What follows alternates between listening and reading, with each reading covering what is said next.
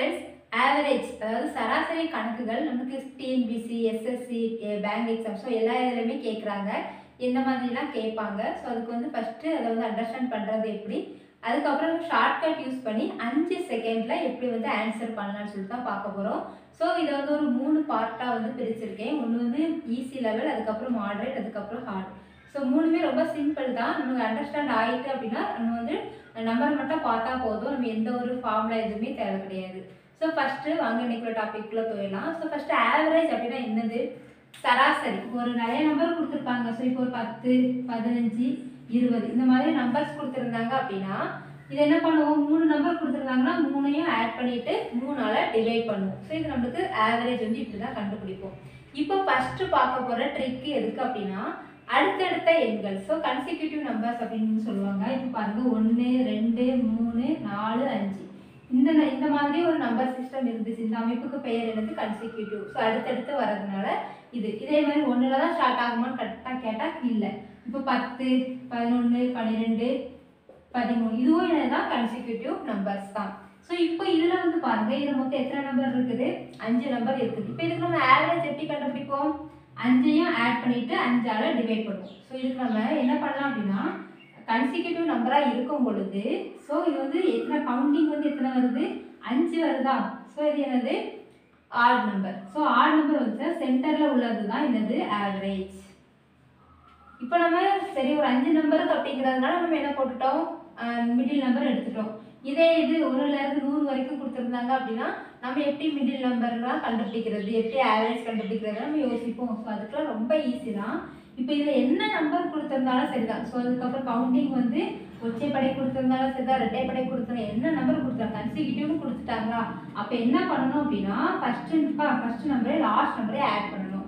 So ஒன்று plus அஞ்சு அதுக்கப்புறம் அது ஆளை டிவைட் பண்ணணும். ஸோ இப்போ பாருங்கள் six five two thirty equal to three நம்ம ஆல்ரெடி என்ன சொன்னோம்? மிடில் நம்பர் தான் ஆவரேஜ்னு சொன்னோம். நம்மளுக்கு இந்த ஃபார்மெட்டில் கண்டுபிடிச்சாலும் த்ரீ தான் கிடைக்குது. இல்லை ப்ரொசீஜர் வைஸாக தான் போடணும் அப்படின்னா நம்ம எல்லாத்தையும் ஆட் பண்ணிவிட்டு அஞ்சால் டிவைட் பண்ணி பாருங்கள் அப்பவும் என்னது தான் வரும்? த்ரீ தான் வரும். ஸோ இதுதான் கன்சிக்யூட்டிவ் நம்பர்ஸ் அப்படின்னா ஆவரேஜ் கண்டுபிடிக்கிறதுக்கு இதுதான் ட்ரிக் இப்போ இதில் வந்து பாருங்கள் பத்து பதினொன்று பன்னிரெண்டு பதிமூணு.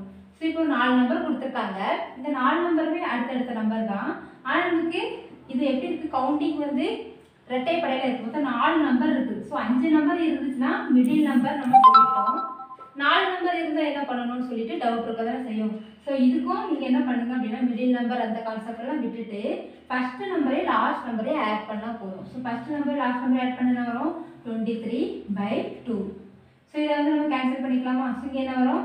பதினொன்று புள்ளி அஞ்சு. இதையும் நம்ம ஈஸியாக கேன்சல் பண்ணிக்கலாம். இதை எப்படி பிரிச்சுக்கிறேன்? இருபத்தி ரெண்டு ப்ளஸ் ஒன்று பை ரெண்டு எழுதிக்கலாமா?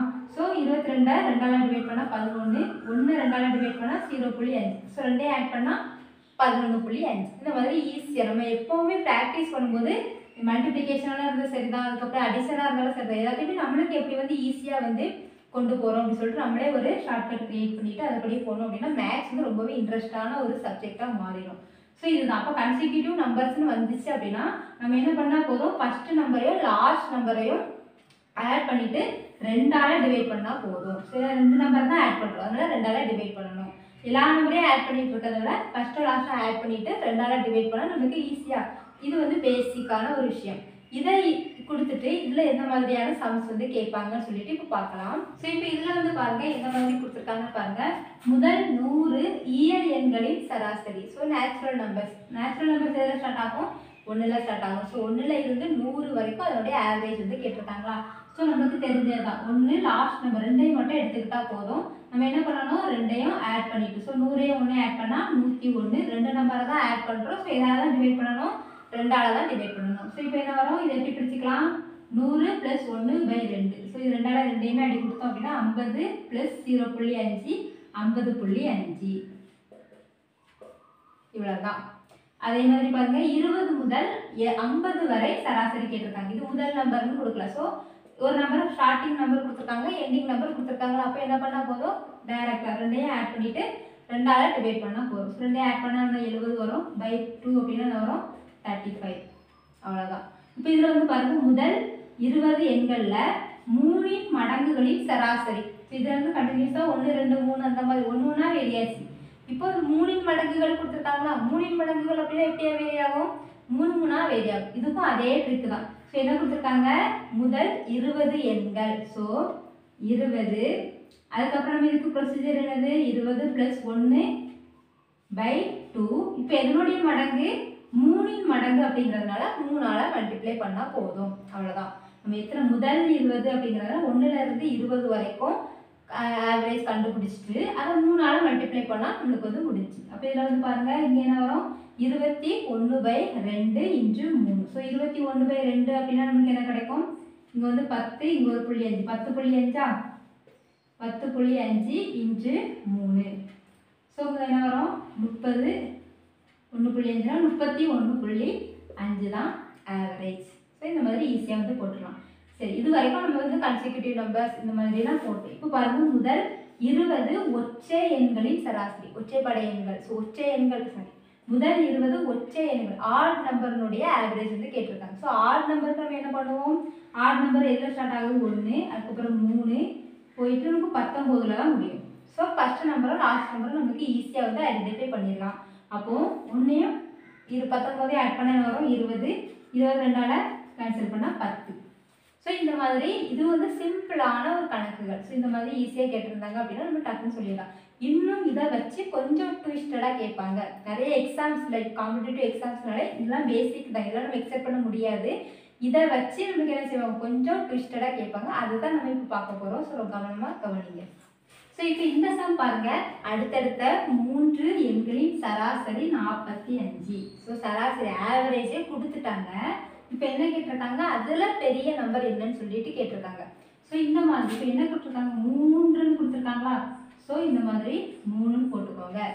இது வந்து என்னது? ஒற்றைப்படை ஸோ மூணு கோடு இருக்குதா? அப்போ மூணு கோடு இருந்துச்சு அப்படின்னா கொடுத்துருக்கக்கூடிய ஆவரேஜா அதுதான் நடுவில் உள்ள நம்பர் ஆல்ரெடி நான் சொல்லியிருக்கேன்.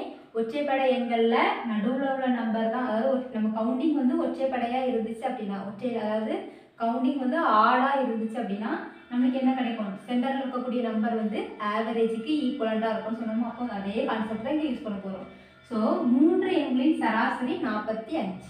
அப்போ சென்டரில் உள்ள நம்பர் என்னது? நாற்பத்தி அஞ்சு. அப்போ பாருங்க அடுத்தடுத்த மூன்று நம்பர் அப்படின்னா நாற்பத்தஞ்சுக்கு முன்னாடி உள்ள நம்பர் என்னது? நாற்பத்தி நாலு. நாற்பத்தஞ்சுக்கு அடுத்த நம்பர் நாற்பத்தி ஆறு ஸோ இந்த மூணுடைய ஆவரேஜை கண்டுபிடிச்சா நமக்கு என்ன தான் வரும்? நாற்பத்தி அஞ்சு தான் வரும். ஏன்னா செக் பண்ணி பார்க்கலாமா? ஆவரேஜுக்கு நம்மளுக்கு ஷார்ட்கட் என்னது? நாற்பத்தி நாலு. ப்ளஸ் நாற்பத்தி ஆறு பை டூ ஸோ நாற்பத்தி நாலையும் நாற்பத்தி ஆறையும் ஆட் பண்ணால் தொண்ணூறு.